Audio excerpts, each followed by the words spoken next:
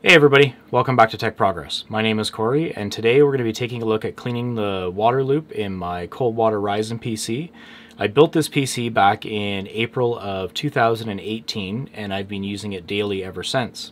I used EK Cryofuel concentrate and distilled water for my uh, coolant and I have not changed it since. I did flush it, I sorry, not flush it, I did drain it and refill it once when I installed the Aorus um, Waterforce 1080 Ti. I originally had a Vega 64 with a EK water block on it. Um, I swapped that out last year for this uh, 1080 Ti Waterforce edition. Um, all I did was drain the coolant and refill it with the same stuff. That's why the water level is a little bit lower. I didn't top it up completely. I've had zero leaks. Um, it has held up very well. Uh, let me just quickly go through some of the components in the system. We have a Ryzen 7 2700X. We have 32 gigs of G.Skill Trident Z 3200 megahertz RAM. We have the GTX 1080 Ti Waterforce Edition. We have the um, X470 uh, Crosshair 7 Hero motherboard from Asus and a Corsair, Corsair 1000 uh, HX1000i power supply powering the entire thing. Um, as far as cooling components go, we have the EK uh, Revo D5 pump reservoir combo. We have an EK AM4 water block. We have the Waterforce water block that's on the 1080 Ti. And I have a Coolstream e EK Coolstream 420 mil rad across the top. Um, with three 140 mil Noctua fans bringing air into the case through the front, and 320 mil, or sorry, 140 mil uh, Noctua fans exhausting air out the top for equal airflow.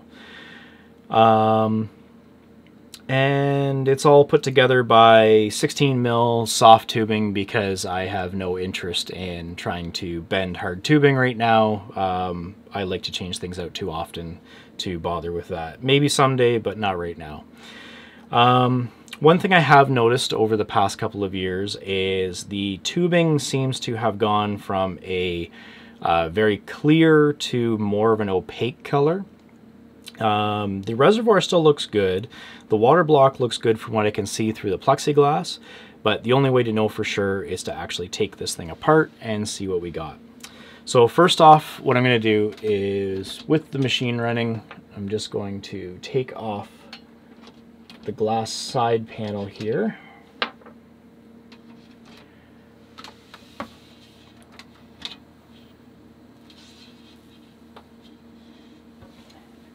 And see how dusty it is inside. Oh yeah, it's...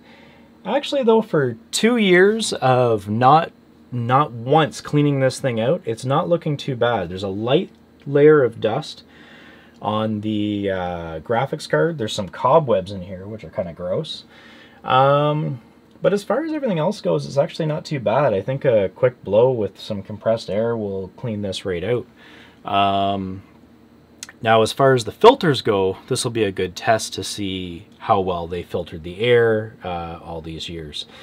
Um, so I'm going to do that. I'm going to remove the filters. I'm going to clean them. I'm going to give this a blow with some compressed air. And uh, I'll be back and we will continue with cleaning the loop.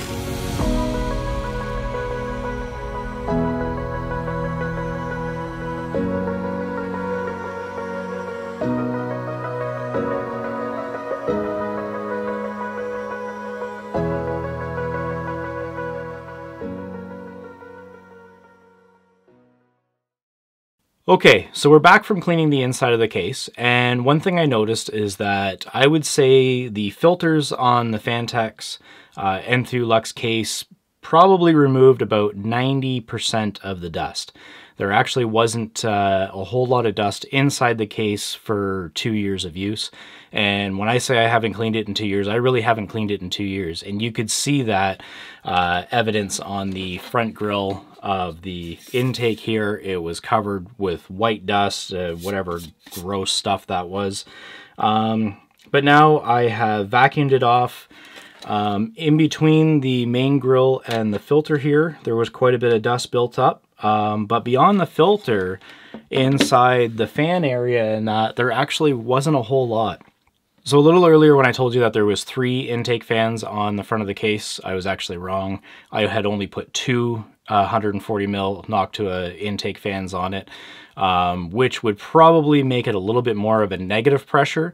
However, I think the resistance of going through the radiator at the top made it almost balanced because you would think that if it was a negative pressure, it would be sucking air in and dust in through here. And the level of dust that was inside the PC, I wouldn't think that... Uh, it was actually, I don't think that was the case. I think it was actually pretty balanced. Um, the uh, power supply doesn't seem to have ran its fan at high speed a whole lot, um, considering I barely had to clean anything off of the power supply grill. Uh, this filter um, goes on the bottom. There's no fans there, so it was pretty clean. There was a very, very small amount of dust on the inside of the top filter on the top of the case and basically all the dust was being filtered by the front and again i would say it was about 90% efficient because it kept a lot of dust outside of the case. So what i did vacuumed off all the grills vacuumed off the hard stuff off the top and uh, non-electronic parts of the case um, with the uh, regular house vacuum. I wouldn't recommend vacuuming anything where there's components um, due to static electricity. I know components are a lot better nowadays, but you never know. Um, so yeah, I just basically took it in, put the shop vac hose right here uh, in the workshop and blew it all off with compressed air. And there actually wasn't a whole lot of dust that came out, so it worked out pretty well. So the next thing we're going to want to do here is we're going to want to actually drain the loop. Um, of any water that is currently inside it. So in order to do that, in order to do that, I'm going to turn the case around. And you're going to be able to see right here, I've put a drain valve. When you're building a custom water loop, always put in a drain valve. It makes it so much more convenient for later on um, when you have to drain the loop. So basically what I'm going to do is I have a fitting here that basically has a thread on one side converted to a spigot on the other that I can connect a piece of tubing to. And I can put the other end of the tubing down here into a clean jug. That way I can take a look and inspect the uh, coolant as it comes out and see how good of a job it did. Um, so the next thing I'm going to want to do is vent the system. And I'm going to do that by removing the top off the reservoir so that air has a place to get out. A top vent on the rad would be ideal, but I don't have that, so I'm not going to do that. Next, I'm just going to open up the valve on the spigot here and watch all the coolant drain into the bucket. So, as you can see, we haven't got all of it, obviously. So what we're going to need to do is actually tilt this a little bit so that we can get the rest of it draining out. Going to tilt it one way, then we're going to tilt it the other way. Here it sounds like a straw. Draining the rad.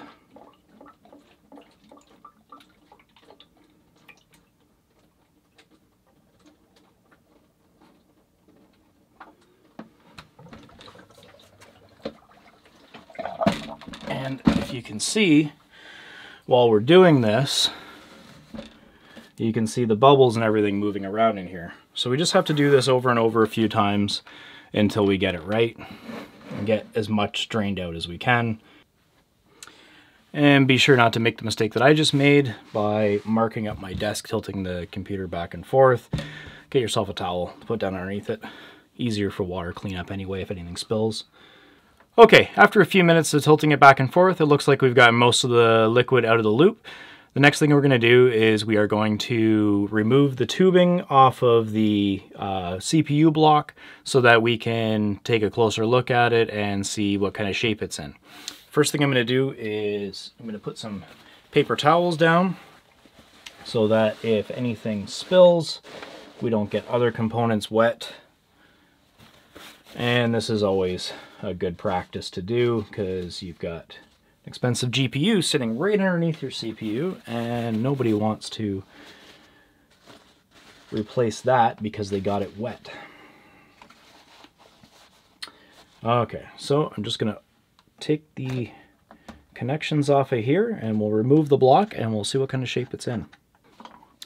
And one thing to remember with AM4 sockets is sometimes they do uh, stick to the processor with the thermal paste. So try and give it a little slight twist before pulling it off.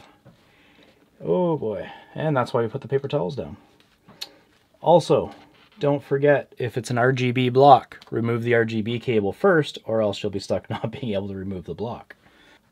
So the surface of the block, even with the thermal paste on, still looks pretty good.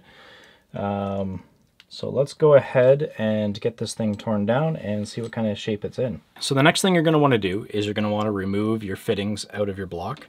If you don't have, uh, if you can't do it by hand, remember a 5 16 Allen key, any kind, will fit into at least the EK fittings. Um, and you can just apply a little bit of pressure and start them coming out, and then you take the rest out by hand. Um, I've cleaned off the block with some isopropyl alcohol, got the thermal paste off of there, and uh, what you want to do is just take a quick look at the fittings and uh, just make sure that the um, the O-ring isn't cracked, uh, you don't see any dirt or anything on there, and uh, it's not dried out. So those ones look good. Next, you grab an Allen key and take apart the block. Um, just going to take a look at these four screws here, remove them. So now you're going to remove the last screw, and I did just want to point out that um, I did use Noctua thermal paste on this, and just taking a look at it, it's still a nice shiny mirror finish on here after I cleaned it up with some isopropyl alcohol, so there was absolutely no corrosion or anything that took place there. So we're going to remove the block, and basically all we're going to do, now that the screws are out, is we're just going to pry on that a little bit and make sure you protect that gasket. Okay, so there's the block, one side and the other side. Wow. Okay. So for one year, sorry, two years of use, like there is no real corrosion, no algae, nothing in there. Um, either side of the block, they, it both looks amazing. Um, I mean, I don't know what other test to do here, but cryofuel, good job, EK. Um, I was holding off to buy a new coolant until I saw what my blocks looked like. Um, but yeah, um, after seeing this, I'm going to be going out and getting another bottle of uh, EK cryofuel concentrate. And um, yeah, it looks like it's done the trick. So, I mean, there's a, a few little chunks in there, um, probably just stuff that came out of the, the pump or the rad or other parts of the uh, uh, system. But yeah, like it's, I mean, we'll take the little razor blade kind of thing off of there and yeah, like those channels are clear. Like those channels are nice. One thing you want to do is you want to check with your manufacturer uh, whoever made your block before you clean it. Um, you can use vinegar uh, if it's a copper block. They say not to use vinegar on a um, nickel plated block. They say only warm soapy water. I mean, if your block is damaged and it's really corroded anyway, you can probably try anything. But if your block is in nice condition like this, um, it's it's great to uh, you know just use soap and water, a little bit of a dab of dish soap in uh, some warm soapy water, and you're good to go.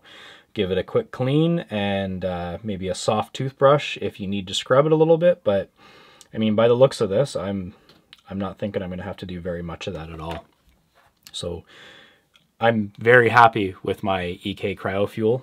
Um, I mean, obviously this isn't sponsored or anything, but I, it, they did a good job.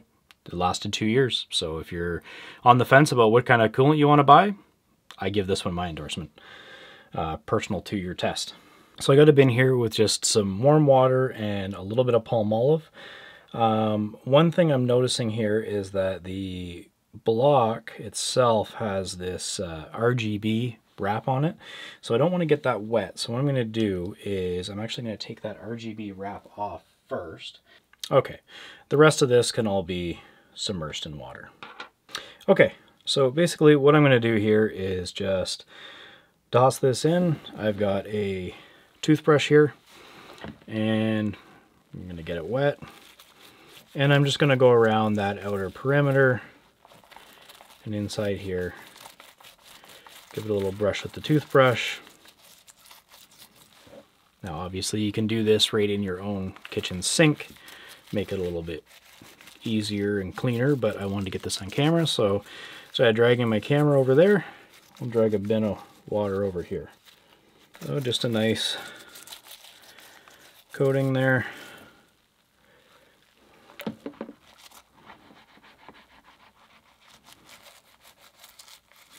Give it a nice little scrub. Give the gasket a nice little wash. Now you can apply a little bit of gasket grease to this if you want um, to keep the gasket nice and healthy. It's up to you. I don't think you need to. Um, I don't think I'm going to for this part.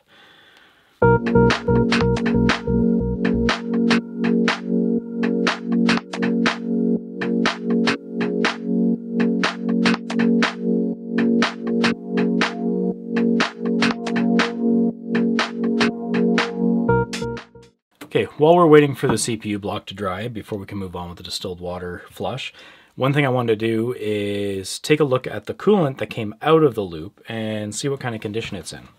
So I've got a nice clean peanut butter jar here that I just washed and I'm going to pour pour it fast so that if there are any solids I can get them in here.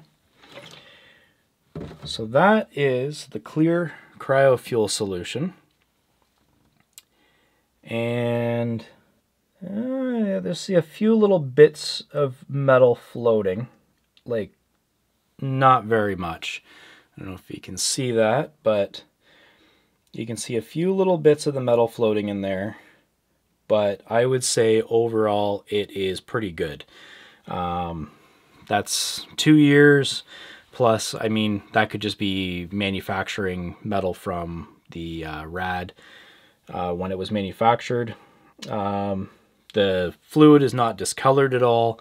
Um, I mean, it's got a little bit of a yellowy tinge to it, maybe, but uh, I think that's mostly just the plastic jar that it's in, uh, giving it that that look. It's reflecting off. Actually, that's what it is. It's reflecting off the the wooden table.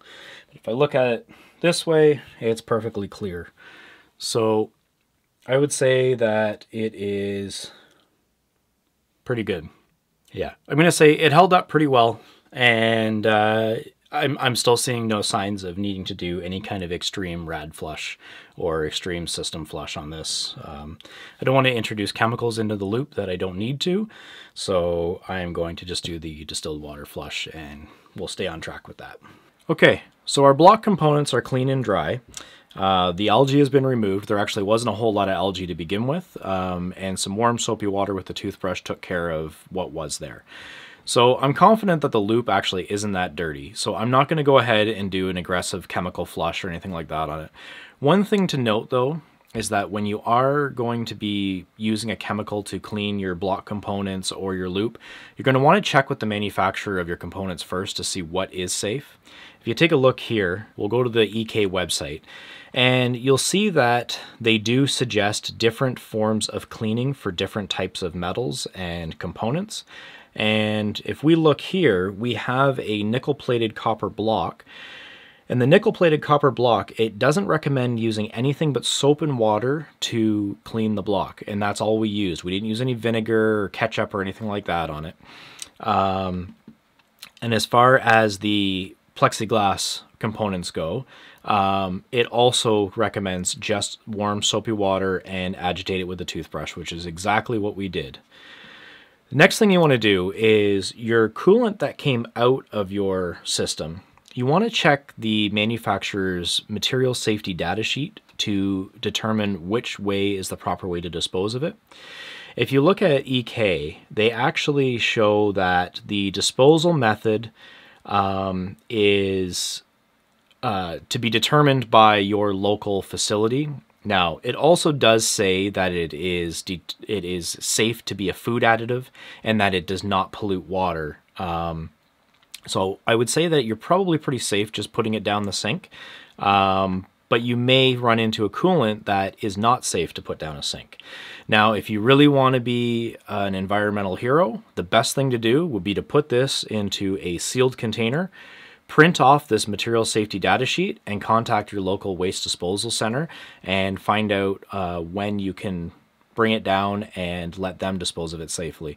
Most municipalities actually have a day once a month or twice a year or something like that where you can bring household chemicals down for disposal. And if you bring this labeled with that sheet, they will love you for it. Okay, so the next step in this process is going to be to put the block back together. So I, I might have said previously that I wasn't going to add any silicone grease to the gasket. Um, I am going to show you what I use. Uh, this is made for plumbing fixtures, but it is just basically silicone grease and it's safe on most materials. You don't have to do this, and especially if your gasket looks like it's in really good shape, it's not cracked, it's not dried out, anything like that, you don't need to. But if you do happen to put any kind of grease on it, I'm just doing this for extra precaution to try and prolong the life of the gasket. And all I'm going to do is put a little bit on my finger and just run it around the perimeter of the gasket. A very light coating will go a long way. Um, this stuff will uh, this will coat the rubber nicely and it will keep it in good shape for a long time. And I'm actually going to take this gasket now. I'm going to apply it directly to the block. So basically, in order to put the block back together, we're just going to reverse the order that we took it apart in. I'm going to put the parts together that fit first um, inside the plexiglass cover here. Then I'm going to put the RGB surrounding, or the RGB bracket back on. In order to do that, we're just going to put it around here. We're going to put the screws back in with the Allen key. And there is no reason to crank this down or anything like that. Just a snug fitting is fine. This is just an RGB plate. Uh, it's just a bracket. Not... Uh, not necessary to crank this down because if you crank it right down, you're going to risk splitting the plexiglass and that would lead you to much bigger problems than uh, under tightening it. And now what we're going to do is we're going to place the mounting bracket back in here, just like so. Bring it up through here. And we are going to place the block back on where it belongs.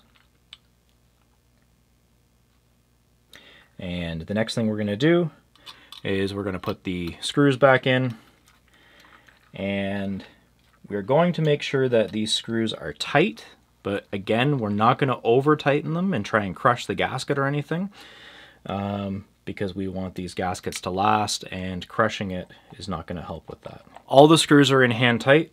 All we're going to do now is just give them a snug. I'm just going to use a cross bolt pattern here.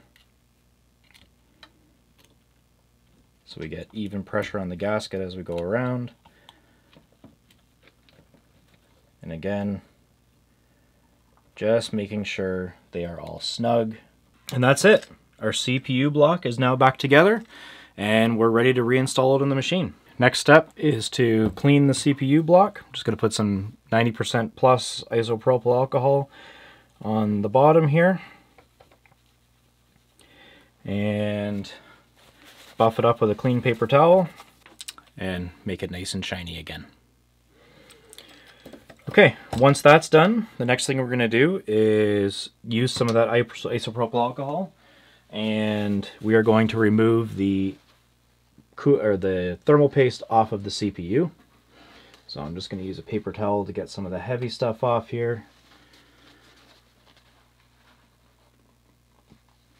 Once the heavy stuff is off, we're going to use some isopropyl alcohol and give the CPU a little buff. Make sure it's a nice clean surface for mounting our block back onto. Now that the processor is nice and clean, the next thing we're going to do is we are going to reinstall the block. So I'm going to use the same thermal paste application that I did when I first built the machine. Um, basically the Ryzen 7 2700X has its silicone in a rectangle down the center here. So I'm just going to use the line method and I'm going to put a thin line of thermal paste right down the center of the CPU like that. And I'll give a couple little extra dots here for good measure. So that's the same thermal paste application that I used when I built the machine, and I want to keep things consistent so we can see the before and after testing. Okay, so the next thing we're going to do is we're going to reinstall the block. And what we're going to do is we're going to take the block on the front and the back plate on the back. I'm doing this vertically, so I am just going to hold the back plate in place. Um, you can put something underneath it to hold it if you're doing this um, on a with the PC lying down, which I would recommend doing because this method is a pain in the butt trying to do this while holding it. I'm going to get the top screws in there. Not tight, just snug, or just uh, loose, and get the bottom screw threaded in there. Bottom screw threaded in there. And same thing, I'm just going to tighten this in a cross bolt pattern until they are all snug. Okay, just make sure that all the screws stop turning and your block is securely in place. Next thing we're going to do is put our fittings back in. So that was this fitting on this side. Again, just make sure that they're snug and you can go ahead and hook your tubing back up.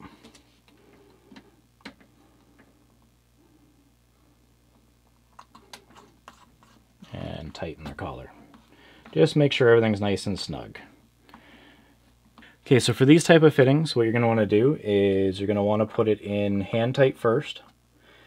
And once you get it in hand tight, you can just give it a feel. So we're going to do just put them in hand tight first. And then because it's hard to grip the threads with your hand, take the Allen key, put it in, and just give it a little turn. Make sure you don't crank it, but you'll feel it. It'll get tight, it'll stop, and then that's it. You don't want to go any further. If you could tighten it too much, you could crack the block, and you don't want that. Put your fitting back on.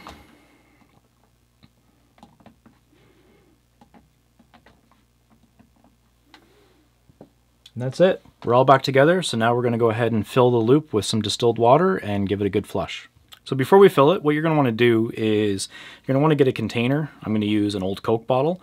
You're going to want to wash it out thoroughly and you're going to want to give it a couple of rinses with distilled water to make sure there's nothing inside it except for distilled water. You don't want to get any Coke inside your loop. Um, and it's going to just make it a little bit easier to pour the distilled water in. Uh, whatever your setup, if you have to use a syringe, whatever, you're going to want to get that set up and get it clean so that you can put the distilled water into the loop.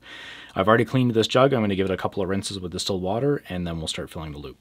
And the next thing I did was I actually took a power adapter that I use to that has a Molex to 110 volt AC uh, connection on it uh, I did that so that what we can do is control the pump totally separate from the PC with everything shut down on the PC, only using the power bar switch to shut the pump on and off. Um, make sure your paper towels are nice and lined up on all the components that you don't want to get wet. And the next thing you're going to want to do is start to fill your loop. So we're going to take some of the distilled water Pour it into the top of the pump here. Make sure that drain valve is closed. Now we're going to go ahead and turn the pump on and suck down that level.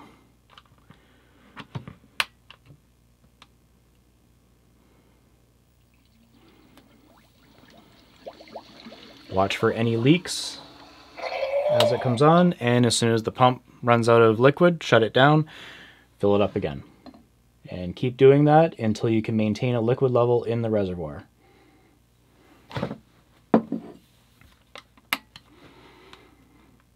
Don't run the pump dry. You could risk burning it right out if you do that. And we're just going to keep repeating this process until we we can maintain a level. Because then we'll have enough water coming back from the loop into the reservoir Again, keep your eye on any leaks that may form. All right, so now you can see there's actually a level holding inside the reservoir. So I'm just going to go ahead and top this up while it's running.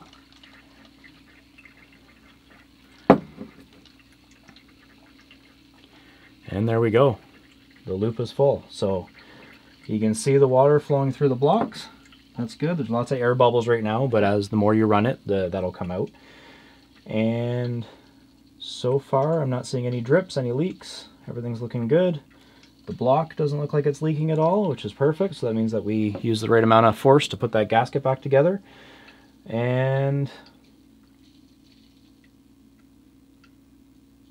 say we're good to go. So what I'm going to do is I'm actually going to leave this flush for two hours. I'm just going to keep it on the pump. I'm going to check it periodically, make sure that there's no um, no leaks happening. And once that two hours is up, I'm just going to drain the loop like we did in the beginning. I'm going to refill it again with distilled water just like we did now. And then I'm going to leave it until we get our concentrate.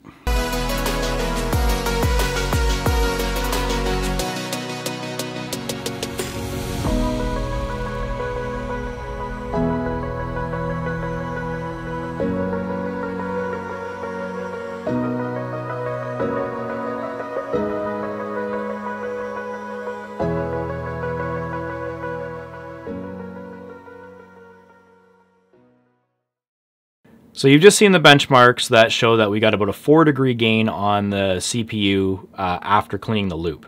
Um, it's been about three months since I shot the first part of this video, um, but basically to recap what happened is after I finished shooting that last segment, I let the loop circulate for another two hours. I drained it, I refilled it with distilled water, and then left it run overnight to get all the air out of the system. The next day, I went in and I did a set of benchmarks on the system for the after profile. And what I did is before I ran the initial benchmarks before tearing down the loop, I set all the settings in manual um, in the BIOS and in the in, in MSI Afterburner. And I performed the exact same test before and after. There was absolutely no uh, updates done. There was nothing. This computer wasn't even connected to the internet, so it was impossible to do updates. No changes in the settings. And what I found was that the CPU got a four degree gain after cleaning the loop than it did before cleaning the loop. So basically, I have a few ideas of why this is. Um, we never saw any gain on the GPU whatsoever. It basically sat at 38 degrees during this test, um, and that was it. So the Heaven benchmark wasn't necessarily maxing out the GPU, so that could be one reason why. Now, I did run Time Spy Extreme as well, and it didn't seem to really give me much gain on the GPU either. So, my kind of takeaway from that is A, I never cleaned the block on the GPU, so if there was anything built up in there, I didn't help anything by flushing any more water through it. All I did was uh, drain and refill that, but I did clean the CPU block. The other thing is, I don't think the 1080 Ti really throws that much heat. Um, and I think a water block like this is a little overkill for it. So that could be another reason why there wasn't really much gain um, in temperature after cleaning the loop. And basically, my other theory is that the CPU is what was really throwing the heat into the loop. And I think that the CPU um, basically benefited mostly from cleaning the dust off of the intake on the PC. Um, now, it could have been uh, cleaning the CPU block. It could have been the thermal paste application was different. I mean, I tried to keep it the same, but it, it, it might have effectively been a little bit different. Um, but I really think it boiled down to cleaning the dust out of the PC. So it was good that I did a coolant flush on the thing. It was good that I cleaned the the CPU block. But I think the thing that benefited the temperatures in this thing most of all was cleaning the dust out of the thing. And that's something you can do any day. It takes 10 minutes to take it outside, blow it off with some compressed air, pull the filters out, vacuum them off, whatever you got to do uh, to get it clean. It's uh, good general maintenance on your PC. Another couple of takeaways here is just that I don't think a aggressive chemical flush is necessary on a loop if it is in generally good condition. And also, if you used a good um, coolant like I did with the cryofuel. Uh, again, I'm giving it my personal endorsement just because I, it worked for me for two years. There was no algae, there was no corrosion. Um, and I think because I used that, there was no need to do an aggressive cleaning on it. I didn't use vinegar, I didn't use any chemical solution. I mean, you can go out and spend 70 bucks on chemical cleaners for your cooling loop, but it might not be necessary. And in fact, they are pretty aggressive and they can cause corrosion. They can do sometimes more harm than good um, when it comes to cleaning, and especially when you have different materials in your loop. So I would call this little project a pretty good success. Um, we gained four degrees on the CPU. We cleaned the dust out of the thing. We got it looking good again. Um, it took some time, but we also tore apart the CPU block, found out there was no corrosion, no algae. We didn't see any signs of corrosion or algae in the rest of the loop. And yeah, I think it was a good test um, to see just how what kind of condition the loop was in, and we gained a little bit of heat and some cleanliness at the same time. So I apologize for this video being so long, and I don't know if you can tell, but this part that I'm shooting right now is actually three months after the initial shoot. Um, this has been sitting here for three months. That's evaporation. That wasn't dumped out anywhere. That's just been sitting there without a lid evaporating on the desk back here. Um, so yeah, anyway, the next step for this machine now is to upgrade it to the Ryzen 9 3900X. So expect that video to be out to you soon. Um, and then I'll be happy to be able to use my machine again because I've been using a test bench with a 3700X for basically everything for the last three months. Anyway, uh, again, I'm sorry this video was so long. I'll try to keep them shorter in the future, but I think there's a lot of valuable information that uh, needed to be said and some things that I wanted to show um, in this video. So thank you for tuning into Tech Progress. If you liked this video, please give it a thumbs up. Leave me some comments, uh, some personal experiences in the, in the comments below. And uh, please get subscribed for more great tech videos in the future. I hope to have them out on a monthly basis now, or hopefully more frequently. I'm back into it now, so uh, you'll can you could expect some more videos to be coming out soon. Anyway, thanks again for watching, and I'll see you in the next one. Take care.